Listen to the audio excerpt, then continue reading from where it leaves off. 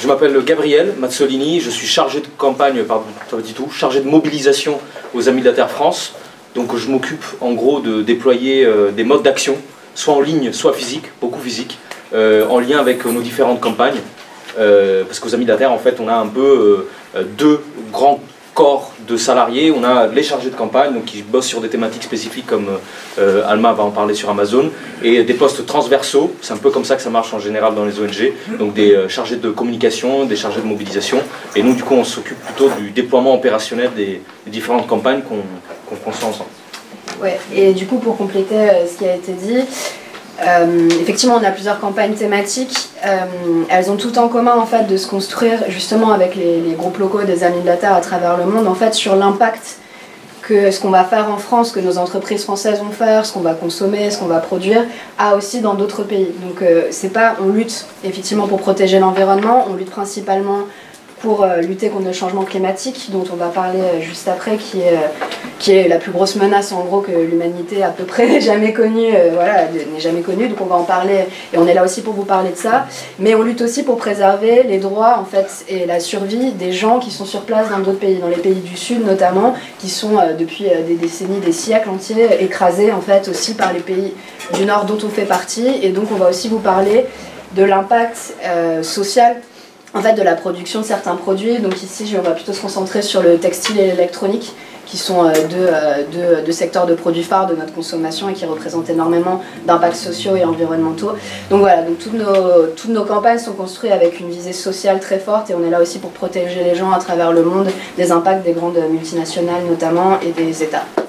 Du coup, on va faire ça un peu en deux parties. On va faire euh, une bonne partie, ça va être un peu participatif hein, parce que sinon tous s'ennuyer, je pense. Euh, donc une bonne partie sur le fond de l'affaire, le changement climatique, Amazon, euh, la consommation en règle générale, voir un petit peu vous aussi euh, quelle est votre approche par rapport à ça. Et une deuxième partie plutôt axée sur notre méthode de travail, dont on va parler tout à l'heure, notre façon de déployer une stratégie pour faire plier des grandes multinationales. voilà, mais ça on vous tease pour la suite. Parce que du coup on s'est peut-être pas présenté, mais en fait ce qu'implique notre travail, pour vous donner une idée un peu plus concrète, donc euh, moi, ça fait 5 ans que je suis activiste avant même d'être salarié, c'est-à-dire que je m'engage, je m'engageais déjà et je m'engage toujours de façon bénévole en dehors de mon temps de travail pour participer à que ce soit des manifestations, des, ce qu'on appelle des actions directes, des blocages, euh, des différentes actions dont on pourra vous parler euh, après. Et donc c'est un combat en fait, c'est une lutte et on est de plus en plus nombreux à rejoindre cette lutte et en fait tout ça, ça ça demande beaucoup d'organisation. Et moi, ça fait 5 ans que j'ai une espèce de révélation, comme quoi le changement climatique, c'était extrêmement grave, qu'il fallait que je m'engage à titre personnel là-dedans. J'ai eu la chance d'en faire mon métier, maintenant je suis payée pour faire ça. Mais on fait partie d'un grand, grand réseau d'activistes. Alors, si on parle d'Amazon, juste pour commencer par Amazon, qu'est-ce que ça vous évoque, vous? Pas juste de négatif, hein, mais en général aussi en tant que consommateur, consommatrice, citoyen, citoyenne. Amazon. Ouais. Pardon, il y a quelqu'un qui a crié. Le surmenage des employés Ouais, vas-y. Allez-y, hein, levez la main. Un mot, qu'est-ce que ça vous évoque quand vous pensez Amazon? Réseau d'exportation. Réseau d'exportation. La rapidité euh, d'exposition. Rapidité. On peut acheter à peu près tout. Tout, diversité de produits. C'est ça Plus fort, excuse-moi. Grosse entreprise. Grosse entreprise, c'est pas faux. C'est pas faux. La surproduction. Surproduction. Euh, maintenant, on change, de, on change de sujet. On enlève Amazon de notre tête. Et euh, là, on va vous demander, si on parle de changement climatique, pareil, hein, pas nécessairement un prisme négatif, mais vraiment en tant que citoyen, citoyenne, euh, qu'est-ce que ça vous évoque la notion de changement climatique. Toi, tu parles beaucoup. Désolé. Pardon Espèces disparues. Euh, dérèglement des saisons. Dérèglement des saisons. Des glaces. Plus fort La fonte des glaces. Fonte des glaces. Allez-y, allez-y. L'énergie carbone. Énergie carbone. Australie. Australie, très bien.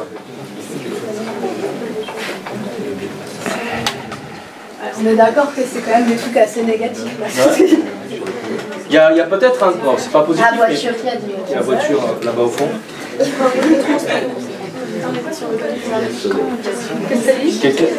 qui Plus fort, excuse-moi. Il y a le transport. Transport en général, ouais. L'air qui devient irrespirable dans certains pays. Ouais. Il manque un truc là. Mort. D'un point de vue économique, ouais. Vas-y, vas-y. Fonte des glaces, Fonte des glaces. Fonte des glaces, c'est donc inondation. un truc qu'on nous rabâche régulièrement. Inondation, c'est très bien. Mais un truc qu'on nous rabâche régulièrement pour dire en fait ça peut être très bien. Non, un truc, un truc qu'on nous dit régulièrement. Exactement. Donc c'est une ouverture de route commerciale. Et c'est pas seulement des routes, c'est qu'en fait, on peut aller explorer plus facilement d'autres puits de pétrole là-bas. Bon, c'est bien ça. être d'explorer justement les liens qu'il peut y avoir entre Amazon. C'est un exemple évidemment, c'est pas du tout la seule entreprise euh, qui a un impact sur le changement climatique, mais voilà, le changement climatique, essayer de reparler un peu. Je vois qu'en fait vous avez déjà une idée assez précise de ce qui peut se passer et ce qui va se passer euh, en partie à cause du changement climatique. Euh, voilà, donc l'idée c'est, euh, c'est de vous parler de ça et après de, re- de rebondir sur Amazon et euh, de discuter un peu de ce qui en fait apparaît pas tout de suite dans la tête des gens, quel est le lien entre cette entreprise qui vous vend des produits chez vous, qui vous livre en 24 heures, et le changement climatique?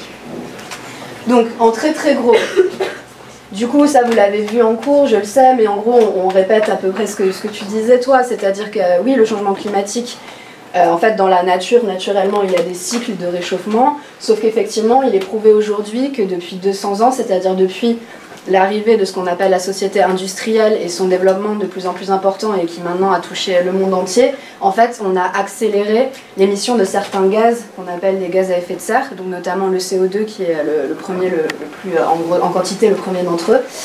Euh, donc en fait, on a accéléré la production et l'envoi de ce gaz dans l'atmosphère en utilisant de plus en plus d'énergie carbonée pour le transport notamment, pour le chauffage, pour la fabrication des produits. Donc tout ça, ça émet de plus en plus de CO2 et depuis la fin du 19e siècle, en fait, on ne fait qu'émettre de plus en plus chaque année, de plus en plus le monde émet de plus en plus d'émissions. C'est-à-dire que depuis 50 ans, on nous dit il y a le changement climatique, il va falloir faire quelque chose. En réalité, tous les ans, le monde émet chaque année plus d'émissions de gaz à effet de serre. Donc la situation s'améliore pas du tout en fait. C'est pour. euh, Donc là, c'est pour illustrer que malgré les grands discours politiques et tout, et tout ce dont on entend parler à la télé, à la radio, etc., en fait, la vraie situation, la réalité de la situation, c'est que chaque année, on émet davantage de gaz à effet de serre. Ces gaz à effet de serre, en fait, ils remplissent l'atmosphère ils piègent la chaleur sur Terre, d'où l'effet de réchauffement climatique. Euh, Qu'est-ce qui va se passer en gros Donc le fait qu'il fasse plus chaud? Donc on parle, on, on donne des chiffres un peu euh, qui, apparaissent un peu abstraits. On parle de 1 degré de réchauffement, 2 degrés de réchauffement. Il faut savoir qu'en fait, quand on dit 1 degré de réchauffement, ça ne veut pas dire qu'il va faire juste plus 1 degré tout, tout au long de l'année dans tous les pays du monde. En fait, ça veut dire qu'avec ce 1 degré moyen, qui est une moyenne sur tous les pays et sur l'ensemble des régions du globe, il va y avoir des températures beaucoup plus extrêmes. Ça peut occasionner 5 degrés de plus en été dans certains pays, etc. Donc en fait, ce degré moyen, c'est juste une indication pour, que vous compreniez que déjà pour nous 2 degrés de réchauffement c'est déjà très grave et c'est ce qu'on va expliquer. Il y aura déjà des conséquences très lourdes d'ici dans les 10, 20, 30 prochaines années. Et que là on parle aujourd'hui, les constats c'est que d'ici 2100, si on ne fait rien, on arriverait à 7 degrés moyen. Donc ça veut dire. En fait, ça veut dire qu'il pourrait faire 60 degrés dans certains pays en été. Euh, voilà, donc ça veut dire des, des différences de température énormes. Peut-être remets la diapo d'avant. On va parler de voilà. Voilà, Donc ce qui se passe déjà, c'est-à-dire ce qui est à peu près inévitable et ce qu'on voit déjà aujourd'hui et ce qui va se passer d'ici 2030, donc d'ici 10 ans, avec le degré de réchauffement climatique qu'on connaît aujourd'hui. Donc par exemple la Banque mondiale, euh, qui est l'organisme international euh, voilà, économique qui prête de l'argent aux États, etc., prédit, enfin a fait une grande étude qui analyse qu'en fait, à cause déjà des impacts d'aujourd'hui du changement climatique, dont on va parler sur euh, les cultures agricoles, sur les inondations, sur les incendies, etc., il y a plus de 100 millions de personnes en plus dans le monde qui vont retomber dans l'extrême pauvreté d'ici 2030. C'est-à-dire qu'on était plutôt sur une phase, et ça se discute, mais où il y avait des gens qui sortaient de la pauvreté ces dernières années, et le changement climatique est en train de réinverser cette tendance, et dans les pays du Sud notamment, là on parle notamment en Afrique, en Asie, de centaines, donc de 100 millions de personnes qui vont retomber dans la pauvreté à cause du changement climatique. Euh, avec les taux de réchauffement qu'on a aujourd'hui, on estime qu'en 2050, on pourrait avoir déjà 200, 000 réfu- 200 millions, pardon, j'ai mal, mal écrit, euh, réfugiés climatiques, c'est-à-dire des gens qui en fait dans leur pays vont avoir des difficultés à rester là où ils sont. Par exemple des agriculteurs qui vont plus pouvoir cultiver leurs terres, donc ils vont devoir se déplacer, ils vont devoir souvent aller dans les grandes villes, voire quitter leur pays si éventuellement il y a des guerres et des conflits et que du coup ça entraîne des, migrations hors pays, puisqu'il y a des gens qui se déplacent à l'intérieur de leur pays et des gens qui sont obligés carrément de quitter leur pays. Donc ça on estime que qu'en 2050 on aurait peut-être 200 millions de réfugiés climatiques. Faut voir déjà à quel point aujourd'hui la question, je sais pas, des réfugiés, etc., est déjà prégnante. On les voit à Port de la Chapelle, on les voit un peu partout. Ils sont très peu nombreux par rapport à ce genre de chiffres. Donc on imagine ce que ça pourrait donner en France avec des gens qui vont se retrouver à la rue, dont, on- dont l'État va pas vouloir prendre charge, etc. Donc c'est très inquiétant. Ce qu'on voit aujourd'hui, que quelqu'un avait dit l'Australie, et là on le voit en fait tous les jours, là depuis deux ans, c'est qu'il y a des méga incendies, des énormes incendies. Il y a eu l'Amazonie il n'y a pas très longtemps. Euh, il y avait eu euh, l'Afrique centrale, il y avait eu la Sibérie, et là aujourd'hui c'est l'Australie. On dit qu'il y a la surface à peu près de la Belgique qui a brûlé en Australie depuis le mois dernier. Donc avec euh, des centaines de millions d'animaux qui sont morts, plus de 23 personnes qui, ont, qui, sont décédées aussi dans les incendies, ils ont- sont en train d'évacuer, c'est-à-dire de faire partir de force de leur maison des centaines de milliers de personnes sur les côtes parce qu'ils peuvent plus rester dans le pays et ils n'arrivent pas à éteindre les feux. C'est-à-dire que ça a pris une telle ampleur qu'en fait les pompiers ne peuvent plus éteindre le feu et qu'il il se propage de plus en plus. Donc on ne sait pas du tout ce que ça va donner. Et là en plus ils arrivent à une saison chaude, donc c'était même pas encore le pic de la saison chaude, donc c'est-à-dire que ça pourrait encore empirer. Euh, Il y a eu aussi quelque chose dont on a beaucoup moins parlé mais qui est, très très grave en Inde cet été. Il y a eu la plus grosse sécheresse que le pays n'avait jamais connue depuis, euh, depuis des décennies. Et euh, donc une sécheresse euh, exceptionnelle qui en, fait a fait euh, plus d'une cinquantaine de morts. Il y avait de moins en moins d'eau, il y avait des bagarres dans les points d'eau, etc. Et l'Inde, c'est quand même le, pays, le deuxième pays le plus peuplé au monde, avec des gens qui sont très pauvres. Donc c'est une situation assez critique. Autre chose dont on parle peu aussi, en Afrique du Sud, en fait, ils ont, ils ont un problème d'approvisionnement en eau. Et aujourd'hui, la deuxième ville la plus grande du pays, Cape Town, en fait, ils ont failli, ils ont, ils ont frôlé le plus d'eau du tout. Euh, rupture totale d'approvisionnement en eau. C'est-à-dire que là, en fait, depuis, depuis un an, ils doivent se rationner, ils prennent moins de douches, ils ont, ils ont des limitations dans, dans leur consommation d'eau. Et euh, c'est un pays euh, assez riche et une ville surtout très riche où il y a beaucoup, beaucoup de milliers de personnes qui connaissent déjà ça aujourd'hui, c'est déjà leur quotidien. Donc tout ça pour expliquer qu'en fait, le réchauffement climatique, c'est déjà une réalité. Et nous, en France, pour l'instant, on est relativement épargnés. Et encore, on a eu les inondations, les crues, etc. En fait, on voit que ça se multiplie aussi en France. Mais dans d'autres pays du monde, c'est bien plus grave. Et les gens souffrent déjà, en fait, dans leur vie quotidienne du changement climatique. Parce que là, du coup, c'est ce qu'on connaît déjà. Alors le problème de cette situation, c'est qu'en plus, si on fait rien, c'est pas que ça va rester comme ça, c'est que ça va empirer, mais euh, fois 10 000, quoi. C'est-à-dire que ça va être catastrophique. Donc, un monde à plus 7 degrés, donc ça, c'est les dernières euh, prévisions scientifiques en fait disponibles. C'est bien pire que ce qu'on pensait. Nous, on était plutôt, euh, il y a encore un an, on pensait que le réchauffement, ce serait 3-4 degrés. Déjà, c'était euh, très très chaud, on va dire, sans, sans mauvais jeu de mots, mais là, 7 degrés, c'est juste absolument. En fait, il n'y a pas vraiment d'analyse et d'estimation scientifique qui sont capables de prédire le chaos que ça va produire parce que c'est beaucoup trop, beaucoup trop important. Donc en fait, on entend des chiffres, on parle de plus d'un milliard, voire deux milliards de réfugiés climatiques. Donc là, c'est juste en fait, euh, c'est juste la guerre mondiale, quoi. C'est-à-dire des, milliards de personnes qui vont devoir quitter leur, euh, leur pays, parce qu'en fait, là, ce sera même plus, on va se déplacer un petit peu, on n'arrive pas à produire, etc. Ce sera qu'il y carrément des zones du monde qui vont être inhabitables, notamment euh, les zones tropicales, en fait, où il fait très humide et où en fait, si c'est- les températures augmentent de plus de 50 degrés, en fait, c'est juste inhabitable en été pour les gens. C'est-à-dire qu'en fait, tu cuis de l'intérieur à cause de la vapeur de- d'eau, en fait, de l'humidité qui est beaucoup trop chaude et tu peux plus réguler ta température. Donc les gens vont tout simplement mourir de chaud. Enfin, point bas. Donc, euh, donc voilà, donc ça c'est donc d'où ce qui explique les milliards de personnes qui vont être forcées pour leur survie de se déplacer. Donc ça c'est euh, si on ne fait rien, bien sûr, ça c'est pas garanti, ça je vous rassure, c'est encore évitable, je préfère le, dire. Euh, bah pareil, des villes, on parle beaucoup de la montée des eaux, il y a des villes entières qui vont disparaître. Et, notamment la Floride, c'est tout l'état de Floride qui va disparaître. Parce qu'en fait ils sont très bas au niveau de la mer et en fait ils vont être submergés complètement. Donc euh, c'est un truc que Trump ne veut pas que les gens sachent. D'ailleurs aux États-Unis, ils cachent les dossiers sur le changement climatique sur, pour pas que ça fasse baisser les prix de l'immobilier dans ces États notamment qui sont vulnérables et pour pas que les gens investissent, pour arrêtent d'investir justement dans l'immobilier en Floride notamment. Euh, donc voilà, donc tout ça, ça va se traduire aussi évidemment, ce que je disais, sur le fait que ça va être de plus en plus difficile de cultiver, parce qu'en fait les, zones vont devenir de plus en plus sèches. Dans les pays tropicaux, il va y avoir de plus en plus de cyclones, de pluies très fortes, après des grosses sécheresses, donc les saisons vont être de plus en plus extrêmes, et ça c'est très mauvais pour l'agriculture. Donc en gros, on va aussi produire moins de, nourriture, alors qu'il y aura de plus en plus de gens. Donc ça c'est un autre problème. Et donc tout ça, en fait, tout ce constat fait, il y a quelqu'un qui avait parlé de guerre tout à l'heure, qu'effectivement, euh, il y a des études, bon ça reste des études, enfin on ne peut pas dire que ça va se passer avec certitude, mais qui estiment qu'en fait, à chaque demi-degré de réchauffement en plus, on a entre 10 et 20% de chances de plus d'avoir des guerres dans les pays.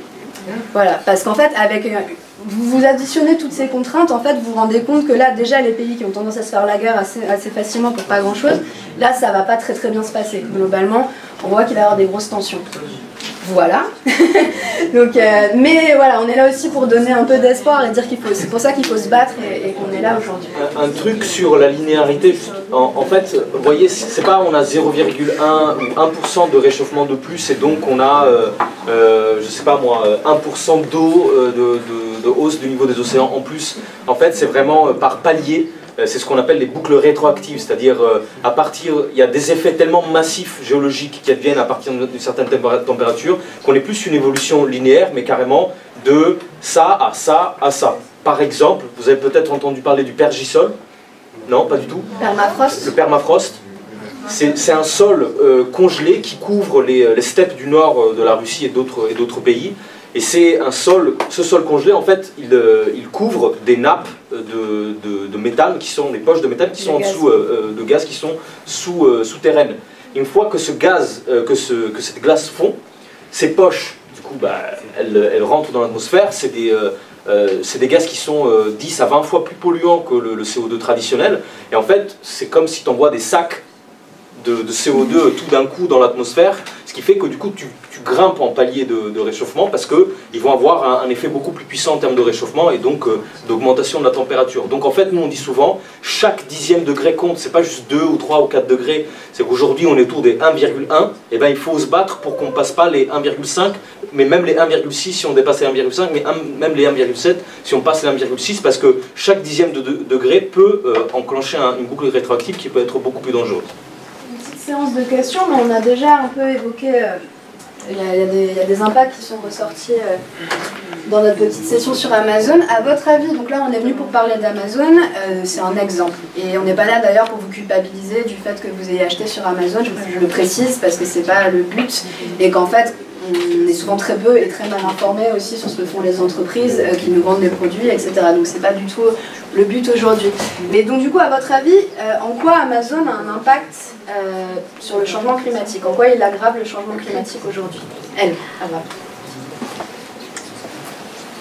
C'est le transport déjà, enfin beaucoup de transport par bateau ou avion. Transport par bateau, avion? Ouais. Ouais, si tu veux, ouais. Euh, ouais, transport par bateau, par avion, par camion aussi, euh, beaucoup. Euh, effectivement, le transport, c'est un des, gros foyers d'impact d'Amazon sur le changement climatique. Est-ce que vous avez d'autres idées là-dessus? Ça favorise la surconsommation et la, la production. Ouais. Tout à fait. Euh, Amazon, effectivement, alors se défendra de dire que c'est pas forcément lui qui fabrique les produits qu'il vend, donc il n'est pas responsable, mais en réalité, en fait, tous les produits vendus sur Amazon, il faut qu'ils soient fabriqués. Et en fait, la fabrication de ces produits, on en reparlera après, émet énormément de gaz carbonique dans l'atmosphère. Et en fait, Amazon a un, impact sur le fait qu'on en, en, consomme toujours plus parce que en fait justement on disait qu'ils faisaient baisser les prix, on y reviendra, parce qu'ils livrent de façon ultra rapide et parce qu'ils ont un choix euh, énorme. Et en fait Amazon est un vecteur justement de surproduction qui est effectivement euh, un des, le plus gros impact sur le changement climatique, c'est euh, les milliards de produits qu'ils vendent chaque année dans le monde. Il y a d'autres impacts qui sont moins connus et je ne sais pas si ouais, quelqu'un euh, en aura entendu parler. C'est, ça fait partie des activités d'Amazon, mais ce n'est pas le volet de ces activités que, que, vous voyez tous les jours, vous, en achetant chez, chez eux. Je ne sais pas si ça vous parle. Euh, les emplois Les emplois? Oui, les gens qui travaillent là-bas. Euh, non, c'est, enfin oui, enfin il y, y, a des impacts et on, y reviendra sociaux énormes, ouais, de l'entreprise, mais c'est pas de ça que je parlais. Amazon Prime. Amazon Prime Video Ouais, la vidéo, c'est. Non, mais c'est ça, ça rejoint. Ouais. Les serveurs Les serveurs, ouais, tout à fait. Tout à fait. Les serveurs. Donc, qu'est-ce que c'est le serveur? On va y revenir. Euh, c'est en fait le stockage de données informatiques parce que ce qu'on ce qu'on sait peu, c'est qu'Amazon, c'est le premier acteur du stockage de données informatiques dans le monde aujourd'hui. Et stocker des données, ça émet aussi des gaz à effet de serre. Donc, ça, pour nous, c'est les trois gros foyers d'impact sur le climat. C'est là où il y a le plus d'émissions. Après, évidemment, il y a d'autres impacts environnementaux, comme par exemple les emballages, le plastique, euh, voilà, tout ce que vous allez recevoir, la pollution. Et aussi euh, l'artificialisation des terres, ça veut dire bétonner les terres pour fabriquer des entrepôts de 150 000 m2, c'est-à-dire plusieurs stades de foot alignés. maintenant, les entrepôts d'Amazon en France, je ne sais pas si vous en avez déjà vu un de près, non? Bah, c'est immense, quoi. C'est vraiment, euh, c'est genre plusieurs terrains de foot que tu mets côte à côte et ça fait la taille de l'entrepôt. Donc il y en a plusieurs, on en reparlera, il y en a 6 en France aujourd'hui, et peut-être plus bientôt. Donc effectivement, donc on disait un entrepôt, donc un entrepôt c'est quoi en termes de transport? C'est à peu près 1000 camions par jour qui vont circuler pour sortir les produits et les amener de l'entrepôt, et 4500 euh, camionnettes. Donc c'est énorme. Euh, donc on estime qu'Amazon, pour transporter les 15 milliards de produits qu'il a vendus l'année dernière dans le monde, il a besoin de centaines de millions de trajets en camion. Euh, de millions de trajets en bateau et euh, c'est chiffré 46 000 trajets en avion cette année pour transporter les produits plus rapidement euh, aux consommateurs. donc Amazon en fait à cause de cet impact du transport qui est énorme et parce qu'il y a changement climatique et que politiquement maintenant ça devient plus difficile pour eux de faire comme si ils s'intéressaient pas à la question, on met en place ce qu'on appelle une stratégie, nous ce qu'on appelle une stratégie de greenwashing, ça veut dire repeindre en vert en gros, c'est-à-dire prétendre que tu agis à la hauteur du changement climatique et que tu changes tes pratiques, alors qu'en fait tu gagnes du temps. Tu essaies de gagner du temps et de préserver ton image auprès des politiques, auprès des clients, pour pas qu'on vienne t'emmerder et qu'on te fasse une réglementation qui t'oblige vraiment à changer. Tu dis ah non mais je vais faire tout seul, laissez-moi faire, je vais mettre en place des mesures. Et ces mesures vont permettre de, euh, de, réduire ma part sur le changement climatique et j'aurais fait ce que je devais faire. Donc, ils communiquent beaucoup dans les médias là-dessus et euh, Jeff Bezos, du coup, le patron, s'est saisi du sujet aux États-Unis, il a fait une grande conférence de presse et il a expliqué Ah ouais, alors Amazon, attendez, c'est fini, maintenant on s'occupe du changement climatique, avec tout notre argent, on va commander 100 000 camionnettes électriques. Et c'est la plus grosse commande de camionnettes électriques qui ait jamais eu lieu dans le monde. Et voilà, et du coup, on va comme ça euh, réduire notre impact sur le, sur le changement climatique. Est-ce que vous pensez, qu'est-ce que vous pensez de ça, de 100 000 camionnettes électriques? Est-ce que vous pensez que c'est à la hauteur? Pourquoi? Pourquoi Parce que déjà, bah, construire des camionnettes, ça pollue. Et de deux, bah, que juste avoir bah, des camionnettes électriques, ça ne va, rien, ça va rien changer à la surproduction du serveur et à l'artificialisation. Tout à fait. Bah, sur euh, le, document-là, il y a marqué qu'ils ont 1,4 million dans le camionnette, donc 100 millions, ça représente euh, 100 000, ça représente beaucoup. Exactement. Mais c'est les deux choses, effectivement. C'est à la fois déjà parce qu'ils se, un peu se foutent de la gueule du monde, parce qu'en fait, 100 000 camionnettes, c'est rien par rapport à toutes les camionnettes qu'ils utilisent dans le monde. Et ça, en fait, c'est pas des chiffres, ça, c'est des chiffres qu'on est obligé, nous, d'agréger, en fait. On est obligé de calculer, parce que c'est pas des chiffres qu'ils vont publier, ils vont pas vous dire, ah ouais, on a besoin d'1,4 million de camionnettes et on en commande 100 000, c'est super. Ça, ils le disent pas. Donc, ça, ces chiffres-là que moi je donne, c'est des chiffres qu'on est obligé, nous, d'aller chercher dans leur business model, mais c'est pas des chiffres publics que publient. Donc déjà il y a ça, c'est pas du tout à la hauteur, ça couvre pas du tout l'impact du transport. Deuxième chose, effectivement, le, vrai impact c'est la surproduction et aussi les serveurs, et ça, ça, ça c'est pas concerné. Et enfin, ce que tu disais aussi sur le, fait, en fait, les camionnettes électriques dépendent en fait les émissions qui vont être générées par une camionnette électrique euh, vont dépendre aussi de l'énergie en fait qui est hum, utilisée dans le pays. Par exemple, en fait, l'électricité, c'est juste, on va prendre de l'énergie ailleurs, on va brancher sa camionnette sur un réseau électrique. Or, il y a des réseaux électriques qui sont plus ou moins émetteurs de gaz à effet de serre. C'est-à-dire que aux États-Unis, par exemple, là où les camionnettes vont être déployées, en fait, pour fabriquer l'électricité, ils font du charbon et du gaz et du pétrole principalement. Donc ça veut dire qu'en fait, ils, juste ils reportent les émissions de gaz à effet de serre, mais en réalité, ils seront tous, les camionnettes électriques sont toujours dépendantes du charbon et du pétrole et donc des émissions de gaz à effet de serre parce que c'est aux États-Unis. En France, on va vous dire ah c'est mieux en France parce qu'on a le nucléaire. C'est un autre problème. Le nucléaire c'est pas une énergie fossile, donc émet pas de gaz à effet de serre, mais c'est une énergie très risquée. Et du coup, c'est pour ça qu'en fait, l'impact d'une camionnette électrique en fonction du pays où elle est utilisée, c'est pas le même sur le changement climatique. Et voilà. Et enfin, un truc que, Amazon ne dit pas non plus, c'est qu'ils ont augmenté de 30% le trafic par avion l'année dernière, justement pour le Prime, pour livrer les clients de plus en plus vite. Alors, je ne sais pas si vous savez, euh, l'avion, c'est le mode de transport le plus polluant. En fait, ça, ça, pollue 9 fois plus à peu près qu'un camion, en, ordre de grandeur. Donc, 9 fois plus. Entre 7 et 9 fois plus. Donc du coup, en fait, quand Amazon, voilà, ça c'est exactement l'illustration d'une stratégie de greenwashing. Amazon n'est pas du tout le seul à faire ça. Mais en gros, quand les grandes multinationales en général disent qu'elles vont agir pour le climat, c'est ce genre de choses qu'elles font. C'est-à-dire, elles vous secouent un petit truc pendant que derrière, en fait, elles continuent de creuser et d'aggraver le changement climatique. Ouais, next. Le stockage des données, du coup. Alors, je sais pas si ça vous parle, euh, si ça vous parle pour vous, c'est quoi une donnée informatique et qu'est-ce qui est stocké dans les, dans les serveurs d'Amazon par exemple? Qui vous concerne vous, on va dire. Ouais. Nos données personnelles, Ouais, nos prénoms, nos adresses, nos adresses mail. ouais, Code de carte On est bancaire. sur le cloud. ouais. Parce que sur le cloud, bah, par exemple, si tu as iCloud, tout ce que tu vas. Donc, euh, c'est un stockage qui n'est pas sur ton ordinateur ni sur ton téléphone. C'est-à-dire que quand en fait, il te libère de l'espace sur ton, sur ton smartphone, mais ces données-là, il faut qu'elles soient stockées quelque part. Donc, en fait, elles sont stockées dans ces immenses ordinateurs. En fait, c'est comme un ordinateur de 150 000 m2 avec des disques durs alignés. En fait, vous avez la même chose dans votre ordinateur, mais là, c'est juste une puissance euh, ex- enfin, 10 000 fois plus supérieure. Qu'est-ce qu'il y a d'autre que vous faites tous les jours et qui nécessite qu'on stocke des Les données? Mails. Ouais, des mails. Les vidéos. Les cookies. Euh, ouais, les mails, les vidéos, tout à fait. Les vidéos, c'est le streaming notamment, c'est le, c'est ce qui consomme le plus. C'est ce qui requiert le plus d'énergie pour stocker les données, parce que c'est très lourd en fait une vidéo. Et donc quand tu vas sur le streaming, en fait, ton, ton film, il est, sans- il est hébergé quelque part, parce que tu l'as pas sur ton ordinateur. Ça veut dire qu'il est sur un site, ça veut dire qu'il est hébergé.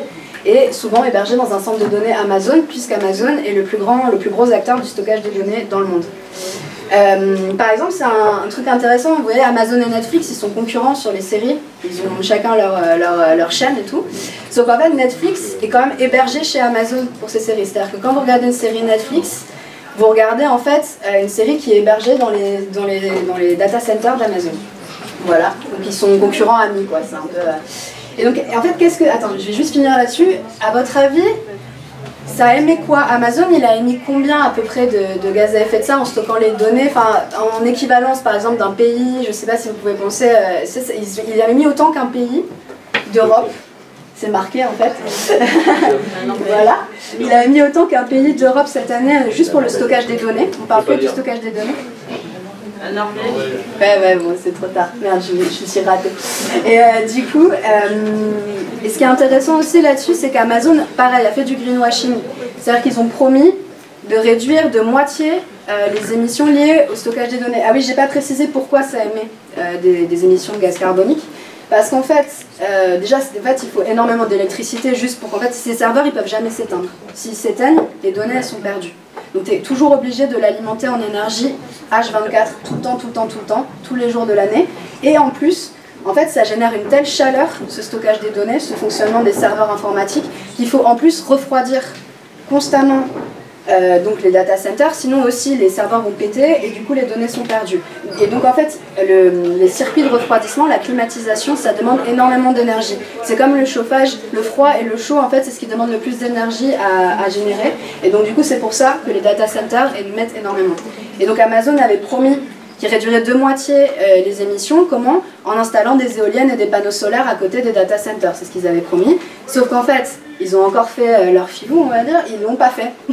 C'est-à-dire qu'ils ont fait un petit peu un petit projet de ci de là. Ils ont continué à ouvrir massivement pendant ce temps-là des data centers qui dépendaient du charbon, du gaz aux États-Unis et aussi en Inde et en Corée du Sud. Donc pareil, des pays qui utilisent le charbon et le gaz.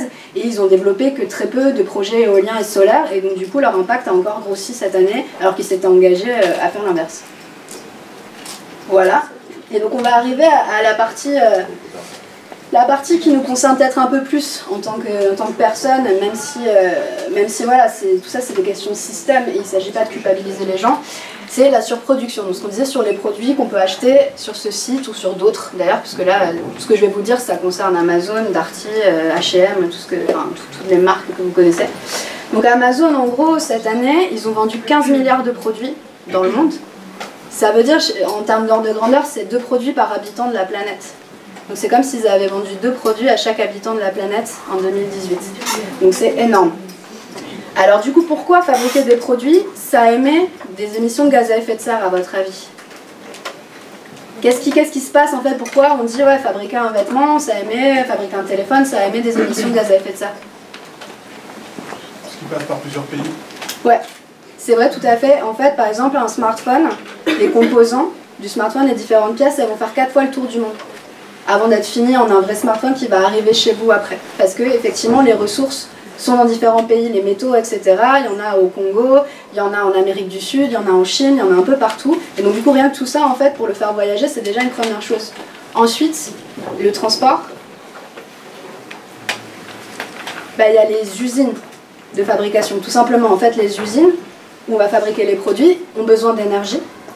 Or, les énergies, en fait, euh, les usines aujourd'hui, elles ont été euh, énormément délocalisées en Asie du Sud-Est, notamment en Chine, mais pas que, au Bangladesh pour le textile. Maintenant, c'est le premier pays producteur de vêtements euh, qui a dépassé la Chine il n'y a pas longtemps. et du coup, en fait, dans ces pays-là, l'énergie la, moins chère, c'est le charbon. Donc, donc, en fait, forcément, et le charbon, c'est l'énergie qui pollue le plus et qui émet le plus d'émissions de gaz à effet de serre dans l'atmosphère. Donc en fait, les usines, pour, fonctionner, elles consomment de l'énergie, elles ont besoin de centrales à charbon, les centrales, les centrales à charbon émettent dans l'atmosphère, et c'est comme ça en fait que la phase de fabrication euh, est en fait la phase qui émet le plus d'émissions de tout le modèle d'Amazon au final. Voilà, et par exemple, euh, les vêtements, les chaussures, bon ça on le sait pas trop, mais c'est le quatrième plus gros émetteur de gaz à effet de serre au monde. Donc après le transport et après l'énergie et, euh, à l'égalité avec l'agriculture. Donc c'est un très très gros secteur en fait. Et je sais pas si vous savez, euh, en moyenne, combien on consomme de vêtements, les Français, chaque année En moyenne, hein. c'est pas vous. Euh, enfin, si vous avez un peu une idée de l'ordre de grandeur. Non Personne Vous, votre mère, vous pouvez tenter. Hein. Ouais, vas-y. Une centaine, on va dire. Ah putain, non, non, c'est un peu moins quand même, en moyenne. Par an, t'achètes 100 vêtements par an, toi Non, non. c'est beaucoup 100 quand même. T'imagines 100, 100 Ouais. Une trentaine, ouais. C'est plus proche d'une trentaine. On estime. Il y a quelqu'un. Non, je... euh, ouais, effectivement, on estime que ça se rapproche de 40. 40 vêtements par habitant. En France, aux États-Unis, on se rapproche plus de tes, de tes ordres de grandeur. Aux États-Unis, c'est 71 pour l'instant. Alors, je précise que c'est une moyenne. Ça ne veut pas dire que chaque États-Unis a acheté 70 vêtements, que chaque Français en achète 40. Parce qu'en fait, déjà, il y a des différences de, niveau de vie qui font qu'il y a des gens qui ne peuvent pas s'acheter beaucoup de vêtements et qui vont s'en acheter 2-3, et d'autres qui vont s'en acheter beaucoup plus. Et il y a aussi ce, ce, que vous avez peut-être entendu parler sur la surproduction. Je sais pas, quelqu'un a parlé du gâchis d'Amazon. Je ne sais pas si vous avez entendu le fait qu'ils détruisaient des produits neufs. Ouais, vous avez vu ça? Moi j'ai entendu aussi que Amazon, enfin, les, ce qu'on renvoyait chez Amazon, au lieu de les jeter, bah, ils les donnaient à des ah ouais Ça, c'est encore du greenwashing. Euh, c'est du social washing parce que on va vous raconter cette histoire vite fait. En fait, nous, on a travaillé là-dessus. C'est nous qui avons sorti l'enquête en fait en France sur le fait qu'ils détruisaient 3 millions de produits neufs chaque année en France. Euh, on a travaillé avec Capital de M6, etc. Euh, l'année dernière. Et oui, ils ont essayé de se défendre en disant non, non, mais on a donné, mais ils ont donné, ils donnent genre même pas 5000 produits neufs à des, à des associations. Et en fait, c'était 3 millions de produits par derrière qui étaient détruits, donc envoyés soit dans, en incinération, donc brûlés, soit dans des, des, charges, en fait, dans des trous dans la terre où ils mettaient les produits neufs, les télés, les vêtements, des trucs neufs, hein, des trucs vraiment neufs, pas cassés ni rien. Et ils, ont, le, ils le faisaient en Allemagne, aux États-Unis. Et maintenant, en fait, à cause du scandale qu'on a fait, ils ont enfin décidé d'arrêter et commencer à vraiment donner voilà, depuis deux semaines, euh, un mois, ils ont annoncé qu'ils allaient euh, commencer à mettre en place des vrais partenariats. C'est pas seulement Amazon, c'est toutes les productions de, partout, autant les supermarchés que Tout à fait. Pas que Amazon, tout le monde. Non, c'est vrai, il y, a beaucoup, euh, il y a beaucoup de phénomènes de destruction, mais dans le cas d'Amazon et des, acteurs de la vente en ligne, c'est encore plus fort. Pourquoi? Parce qu'en fait, ils vont se retrouver avec. Ils vendent toujours plus de produits, c'était ce que vous disiez, la, la disponibilité, les prix bas. En fait, ils font venir un maximum de marchandises, ils sélectionnent pas les produits, ils s'en fichent, ils disent on, prend tout, on verra bien si les gens achètent ou pas. Et en fait, du coup, ils se retrouvent avec des immenses entrepôts qui sont pleins à craquer de produits. Et, en fait, ils n'ont plus de place. Et donc, du coup, ils ont beaucoup plus de produits que d'autres entreprises. Et ils tournent le stock, ils changent le stock de plus en plus rapidement. Donc, en fait, c'est pour ça que les acteurs de la vente en ligne détruisent encore plus de produits que les supermarchés et autres enseignes euh, classiques. Euh, du coup, pour revenir vers la France euh, et, revenir sur la question des employés notamment, là j'ai choisi une photo où vous voyez, il y a un entrepôt Amazon ici, des CRS ici, et des gilets jaunes en face. C'était un blocage d'un entrepôt Amazon par les gilets jaunes qui a eu lieu cette année. à votre avis, pourquoi, pourquoi les, ils- les Gilets jaunes ont bloqué plus de 20 fois Amazon depuis le début du mouvement des Gilets jaunes. À votre avis, pourquoi ils leur en veulent euh, particulièrement?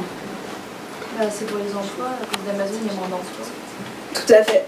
Euh, parce qu'en fait, effectivement, Amazon euh, remplace des entreprises en faisant la livraison ultra rapide, en diminuant le nombre d'employés, parce qu'en fait, ils ferment des magasins. Vous n'avez plus besoin d'aller dans un magasin, il n'y a plus de vendeurs, etc.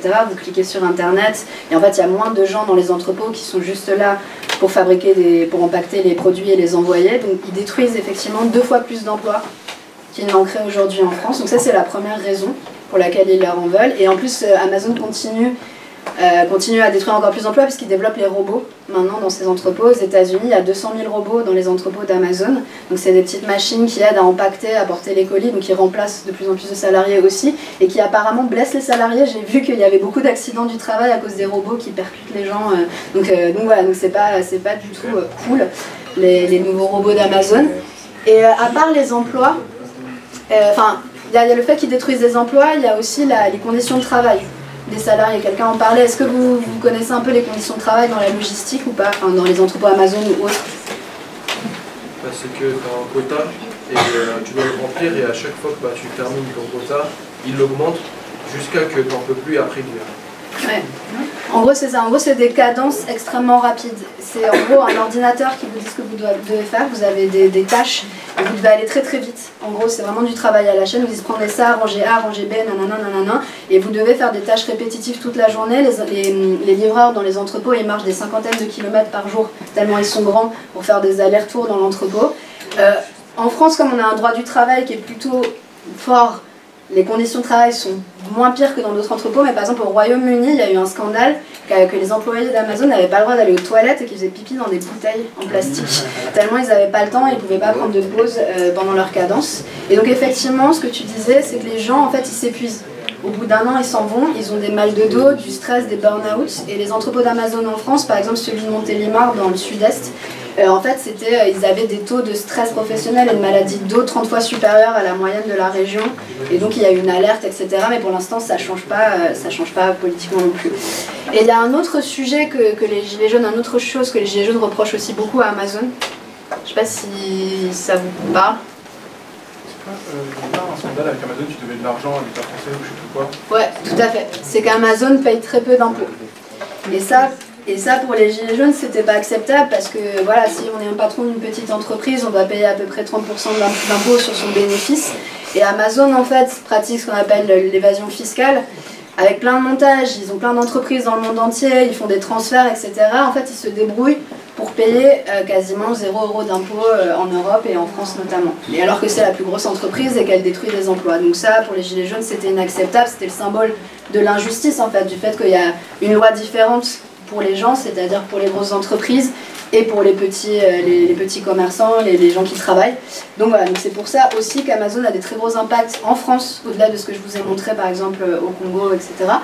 Et, euh, et c'est pour ça en gros qu'on est assez unis, nous, dans la lutte contre Amazon. On n'est pas que les écologistes, on est aussi voilà, aidés des syndicats, des gilets jaunes et de plus en plus de monde, des petits commerçants qui se joignent à notre combat. Tout ça c'était pour vous dire, nous du coup on lutte contre Amazon en France et dans le monde, mais on commence par la France puisqu'on est ici. Et, euh, et donc on va mettre, euh, avec ce cas, vous expliquer un peu comment on fait nous, alors qu'on est tout petit, qu'on n'a pas d'argent, qu'on n'a pas de pouvoir, comment on fait pour essayer de lutter. Euh, et, euh, et voilà, donc ça c'est l'objectif. Et du coup, est-ce que vous avez des questions avant qu'on passe à cette partie plus pratique? Ouais. Un moment, vous avez parlé de transport rapide, comme quoi ils ont augmenté euh, de 30% le nombre d'envoyés par avion, tout ça. Ouais. Et vous pensez que faire comme Wish, qui en fait expédie dans un mois, Ouais. ce serait plus raisonnable ou ça a à peu près le même impact Euh, alors, mais c'est une très bonne question. Non, ce serait plus raisonnable, évidemment, parce que l'avion, comme je disais, c'est le transport le plus polluant. Donc en fait, le bateau, ça reste le transport le moins polluant. Entre le camion, l'avion et le bateau, ça reste le bateau. Donc effectivement, expédier en un mois et demi les produits, euh, c'est quand, même- c'est quand même mieux. Après, je ne recommande pas d'aller sur Wish. Pourquoi? Parce que Wish détruit aussi des emplois, paye pas d'impôts. Ils font pareil. Là, ils sont domiciliés dans un paradis fiscal aux États-Unis, donc ils se débrouillent aussi pour pas payer d'impôts. Et aussi, parce que un truc que j'ai pas évoqué, mais que ce soit Amazon, Wish ou Alibaba notamment, euh, en fait, donc c'est les produits qui sont qui vendent sont les mêmes, donc, on- donc fabriqués dans les mêmes conditions. Et c'est un truc dont j'ai oublié de parler, mais qui est quand même très important, c'est qu'on vient d'apprendre qu'en Chine notamment, il y a des camps de travaux forcés Donc c'est même pas des gens qui sont dans les usines mal payés, c'est carrément des prisonniers politiques. Il y en a 4 millions de gens qui travaillent dans ces camps et ils fabriquent justement les produits, les produits les moins chers que vous pouvez trouver. Pourquoi ils sont vraiment à ce point-là moins chers? C'est parce que carrément c'est des esclaves. Là, c'est même plus des gens qui sont mal payés, c'est carrément des, des esclaves. Donc je recommande pas non plus ni Wish ni Alibaba. euh, voilà. Bah, en fait, le problème, c'est que c'est qu'en fait, la Chine là-dessus euh, veut pas du tout que ça se sache, et que du coup, en fait, personne ne filmait là-bas. Les Chinois euh, qui Comment aident on évolué le nombre de... bah, c'est des, des infos fuitait, mais des vrais reportages comme Capital, etc., ou Cache Investigation, ils n'arrivent pas à tourner là-bas parce qu'aucune aucune journaliste chinoise ne veut les aider parce qu'ils ont peur de, de finir en prison. Tellement c'est sensible. Quoi. Combien de milliers 4, 4 millions. 4 Environ. millions Ouais. Et aussi, vous avez parlé des data centers, comme quoi ça pollue ça, mais avec l'arrivée de Disney, qui sera une très grosse plateforme qui rachète tout là, vous pensez que ça sera. qu'il y a moyen qu'ils fusionnent les deux ou carrément ça va empirer les choses Bah, ça va empirer les choses parce que j'ai pas l'impression qu'ils fusionnent euh, et en fait ils vont faire de la concurrence donc ils vont produire de plus en plus de séries, de contenus pour se battre entre Disney, Netflix, Amazon Prime, etc. Donc cette logique de compétition fait que la pollution et le stockage de données, la pollution va augmenter quoi. C'est quoi votre ressenti un peu par rapport à ça euh sont concernés mais impuissants. Ouais. D'autres qui partagent cet avis Vous pouvez le- lever la main Est-ce qu'il y a des gens là qui se disent euh, Ah putain, euh, j'ai commandé sur Amazon l'autre jour, je regrette trop Je rigole, hein, c'est pas du tout l'objet de la chose. Euh, là où je veux en venir, c'est qu'en fait, nous, on, on essaie toujours de dresser des panoramas qui sont clairs. Euh, on n'a pas envie de, de, de rajouter, de, la, de saupoudrer les choses. Euh, on a besoin que tout le monde soit conscient de la gravité de la situation, parce qu'elle est grave. Euh, on a besoin aussi, et c'est un peu, peu l'objet de cette partie aussi, que tout le monde comprenne qu'il y a des responsables euh, qui sont gigantesques en fait. Euh, il y a des responsables historiques, c'est les pays du Nord, comme le disait Alma tout à l'heure, mais dans ces pays du Nord, il y a des acteurs comme Amazon et d'autres multinationales qui sont particulièrement responsables. Et puis bien évidemment, il y, a une, troisième chose qui est très claire, c'est que nous, en tant que citoyens et citoyennes, on a le pouvoir d'agir. Et on peut vraiment transformer les choses, non pas simplement en changeant notre comportement de consommation individuelle, puisque ce n'est pas l'objet, vous l'aurez remarqué, de cet exposé que de dire bah faut pas commander sur Amazon, ne portez pas euh, euh, des vêtements de marque, euh, n'achetez pas ci, n'achetez pas ça, etc. etc. L'objet c'est de dire, alors bien évidemment, il y a une logique de système qui fait qu'on est tous un peu piégés et dépendants d'un certain nombre d'acteurs, mais en plus de pouvoir se battre à titre individuel dans notre vie quotidienne, en fait, on peut s'organiser collectivement pour gagner. Alors comment on fait pour gagner face à des géants quand on est faible, petit et sans armes? Donc c'est un peu l'objet de cette deuxième partie. Et euh, je vais introduire une notion qui essaie de pilier du pouvoir. Nous, en fait, aussi pour mettre un peu en perspective, on n'est pas, on est petit hein, en France. hein, c'est le, le plus grand réseau écologiste euh, au monde, mais nous, par exemple, aux Amis de la Terre, on est 12 salariés. Euh, alors que Greenpeace France, pour faire une comparaison au niveau national, c'est plus de 90 euh, personnes qui sont à l'actif. Euh, donc on est une petite organisation en réalité. hein. Euh, et pourtant, on arrive à obtenir des victoires concrètes euh, à travers des batailles et des campagnes vis-à-vis de grandes multinationales, y compris des banques. Je vais en parler tout à l'heure en, faisant une petite histoire là-dessus. Et nous, quand on réfléchit du coup à comment on va s'attaquer à un adversaire, on, on essaie de- d'avoir des notions simples qui nous permettent d'organiser nos campagnes. Et une de ces notions, c'est les piliers du pouvoir. Qu'est-ce que ça vous évoque, les piliers du pouvoir? Choses qui rentrent en compte pour dire que quelqu'un a du pouvoir ou pas. Ouais. Un moyen d'attirer le pouvoir, Plus fort, excuse-moi. un moyen d'attirer le pouvoir comme les médias. Oui. Alors, très bien. De ça. On estime que chaque pouvoir, en fait, le pouvoir réside sur euh, un pilier essentiel toujours, la coopération de ceux qui l'utilisent, ou ceux qui euh, y sont dépendants, ok? Donc nous, typiquement, et ensuite un certain nombre de piliers qui peuvent varier en fonction de l'acteur, ok?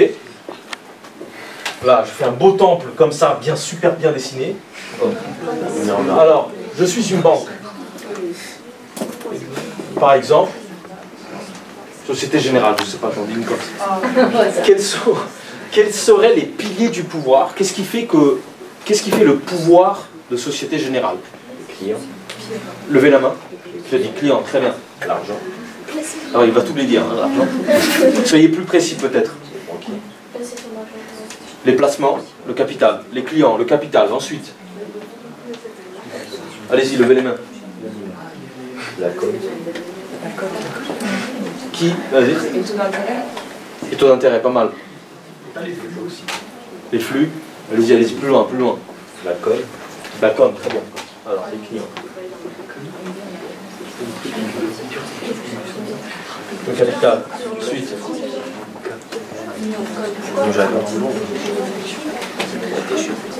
Des actions. Des actions, le capital.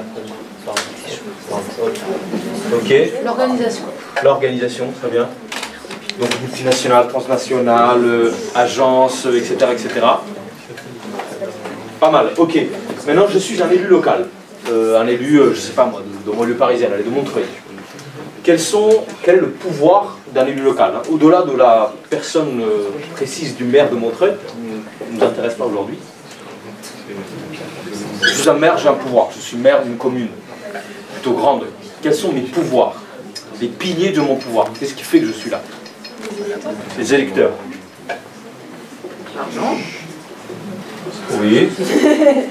Oui. la com, La communication politique. Oui. Les actions les alliances. Les actions Les actions. Les actions, euh, les actions euh, sur la commune. là. Ok. Oui. Son œuvre. Les réalisations. Oui, ce que tu réalises, que. Ouais, ouais, ouais. Très bien.